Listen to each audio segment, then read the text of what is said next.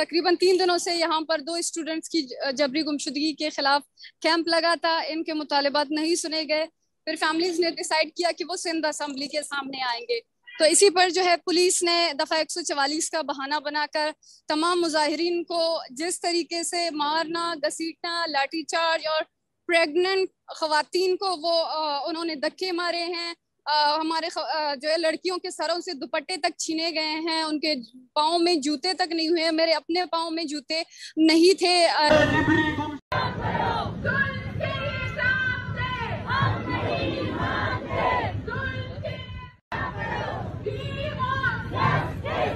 Police ने उन पर तशद का निशाना बनाया जिसमें न सिर्फ़ नौजवानों बल्कि खातन को भी तशद का सामना करना पड़ा।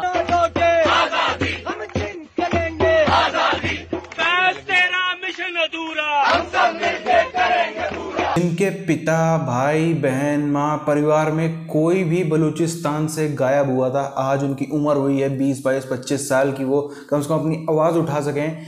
इतना करना भी जो है वो पाकिस्तान में किसी क्राइम से या हराम से कम नहीं है।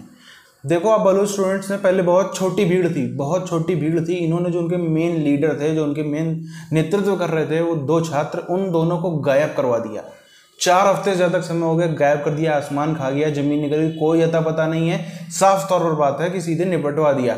अब जो है, इसके बाद से, इसके बाद से इनको गुस्सा झेलना मुश्किल होगा, क्योंकि इसके बाद से जो बाकी बलोच थे, वो भी पूरी भीड़ की भीड़ निकल आई है और अपना वो लोग अपनी न्याय मांग रहे हैं। पूरी चीज़ क्या है? उधर हम चलते हैं। जो पिछले चार हफ़्ते से बलूचिस्तान यूनिवर्सिटी के अंदर एहतजाज जारी है, क्योंकि जो दो तलबा थे यूनिवर्सिटी के, सुहेल बलोच और फैज़ बलोच, उनकी अचानक गुमशुदगी हुई और उसके ऊपर स्टूडेंट्स की तरफ़ से यह एहतजाज किया गया। हुकूमत ने इसके ऊपर एक पार्लियामेंट्री कमेटी भी तश्कील दी थी, मगर अभी तक कोई हतमी हल जो है, वो नहीं निकल पाया है और ना ही उन बच्चों का पता चला है और इस वक्त ये इतला आ रही है कि बिल्कुल यूनिवर्सिटी के अंदर कोई पढ़ाई नहीं हो रही। है। इस हवाले से हमारी जो तलबा तंजीमें हैं और बलुस्तान यूनिवर्सिटी के जितने भी तालब इल्म हैं, उन्होंने पिछले 16 दिनों से यूनिवर्सिटी के गेट के सामने धरना दिया हुआ है और इन सर्द रातों रातों में वहाँ पे बैठे हुए हैं। लेकिन एहतजाजी धरना पिछले 16 दिनों से जारी है। हुकूमत की जानब से किसी किस्म की संजीदगी अभी तक दिखाई नहीं दी गई और ना ही हमें किसी किस्म का कोई खास रेस्पॉन्स दिया गया।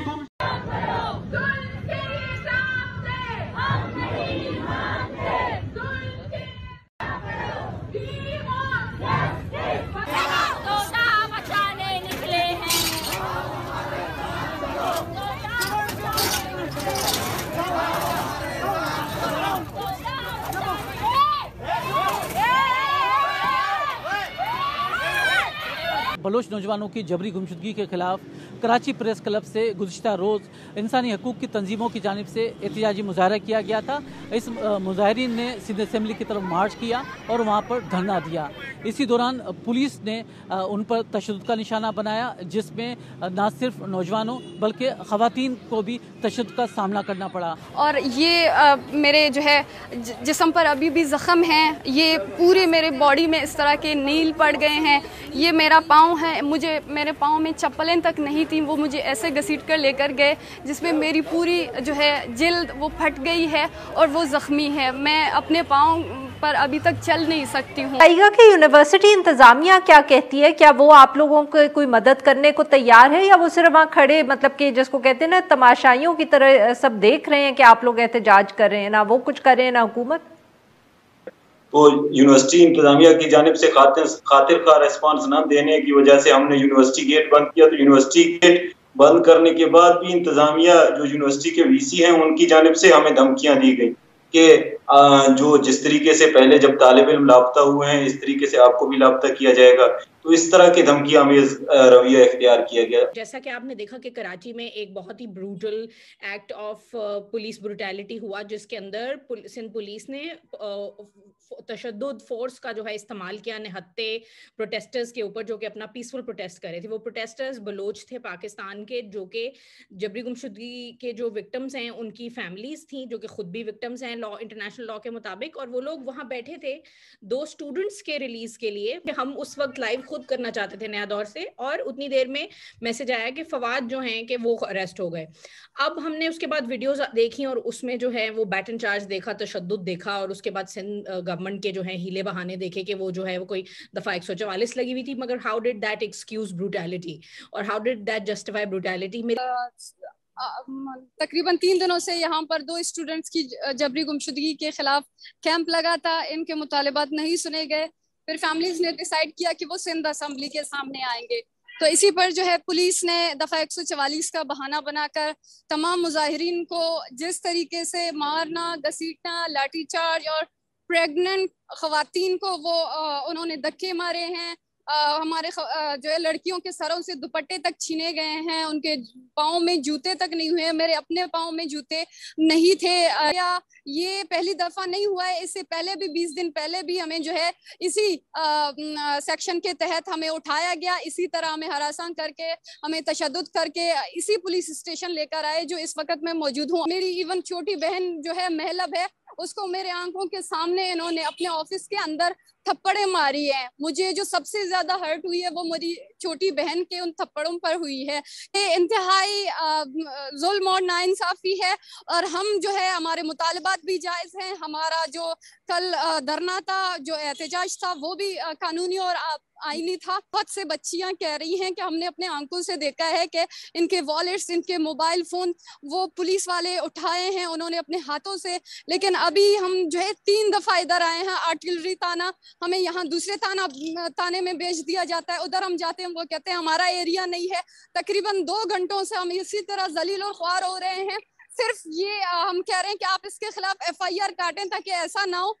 कि आप जिन जो है बच्चों के मोबाइल फ़ोन गायब हैं और उस सिम नंबर पे कोई जो है एक्टिविटी गलत हो और आ, मैं समझ रही थी कि हमें ब्लैकमेल कर रहे हैं। जिस तरीके से इन्होंने अपनी एक रिपोर्ट बनाई जिस पर ये लिखा था कि हम आज के बाद प्रेस क्लब के अलावा दीगर जगहों में मुजाहरा नहीं करेंगे।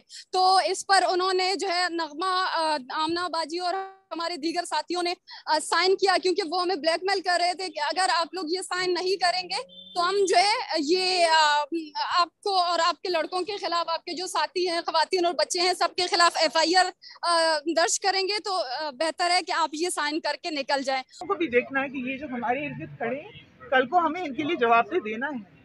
कल को हमसे पूछा जाएगा कि तुम्हारे अंदर थे, मातहत थे तो इनके लिए तुमने क्या किया? लेकिन हम यहाँ पे ये बात कर रहे हैं कि इनकी ज़िंदगी ज़रा आसान बनाए।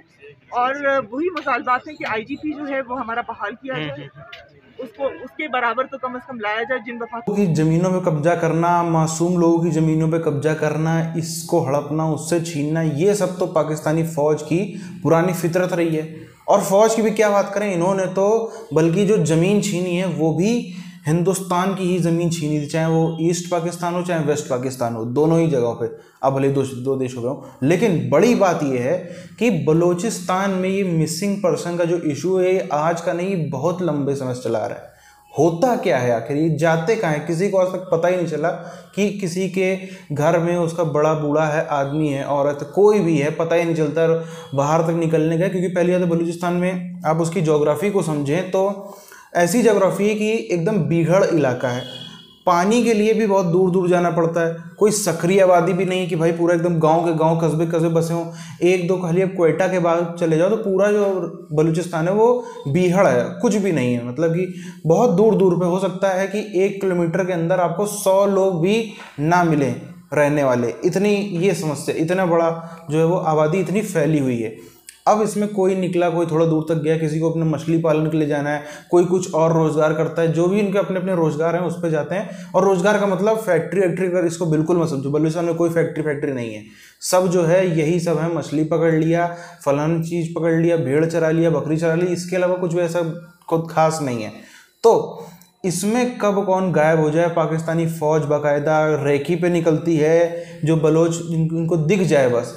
दिख जाए, वो बाकायदा उठाते हैं गायब करते हैं, क्योंकि करना क्या है इनको? ये तो जाएँगे, सीधे उसको बेच दिया। जो आदमी है, उसकी आँख, नाक, ये, वो, किडनी, पिडनी, सब ये बेच डाला और औरतों को सीधे चाइना वाइना को बेच देते हैं लोग। तो इससे आप समझ सकते हैं कि ये कितने, किस औकात है इस पाकिस्तानी फ़ौज की। तो यहाँ पे जो लोग बड़े बड़े हुए, सीधी सी बात है, किसी बच्चा, जिसका पिता या भाई या कोई भी कभी गायब हुआ हो, वो कैसे भूल सकता वो पूरी ज़िंदगी भर नहीं भूल सकता। यही स्थिति है इन बलोचों के साथ में। ये वो लोग नहीं कि आप चार लाठी मार तो भाग जाएँगे, दो दो बार जेल में डाल तो भाग जाएँगे। ये लोग मरते, दम तक लड़ेंगे, भाई, किसी के अपने परिवार का आदमी गायब कर दिया, वो भूल जाएगा। सबको पता है कि मार के, किस हालत में, किस हालत में रखा होगा, वो भूल जाएगा। तो ये जो है, इन लोगों के लिए बहुत ही जल्द जो है बलूचिस्तान फ्रीडम मूवमेंट बढ़ता चला रहा है। पाकिस्तानी फौज के लिए कंट्रोल करना मुश्किल होता चला जाएगा। अभी क्या राय आप नीचे कमेंट करके बताइए। मिलते हैं आपसे वीडियोज़ में। तब तक के लिए जय हिंद।